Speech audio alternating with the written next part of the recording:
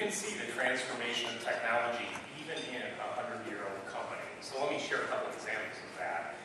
Um, one of the spaces that clearly we're taking elements of what's happening um, in the public space with things like Facebook, LinkedIn, etc., is this collaboration space.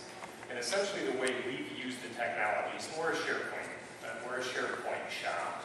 We've essentially used the technology to connect our 70,000 employees around the world, to manage knowledge and to manage expertise.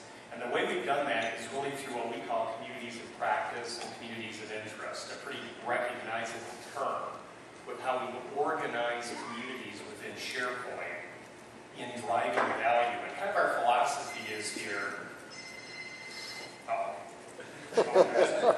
hopefully my uh, data center isn't dying. Uh, that was bad timing. yeah, it's not a, it's not a sub one, so I think we're good. And um, one of the ways we're using that technology, or the kind of the philosophy is, if the problem has been solved, let's find it in the company. And really good examples of that. I mean, simple things where someone, a manufacturing firm, might have been trying to solve a lean problem or 5S in their office in Searcy, Arkansas. They'll connect with someone from Shanghai, China as part of their community of practice. So you can see the transformation of those technologies permeating really a generally industrial manufacturer, and that will continue. Maybe one more example, I'll shut up guys and turn it over to you. Um, another place where I really see it happening is with the mobile technologies. And we're going to spend, I think, a fair amount of time talking about this over the next hour or so. But we have just launched a pretty sophisticated mobile application for the iOS platform um, into our distribution channel of several of Eaton products, about 50% of the volume overall flows through distribution with regards, I guess they want me pretty bad, um, flows through distribution um, through the, to the aftermarket. So it's repair parts is the way to think about it. So we have thousands of distributors across the globe servicing the aftermarket, servicing large equipment manufacturers, servicing plants, etc.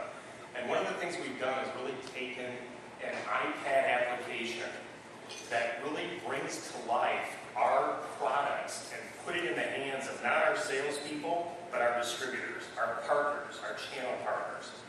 And it does things like configure the product, show models of the products, all the specifications.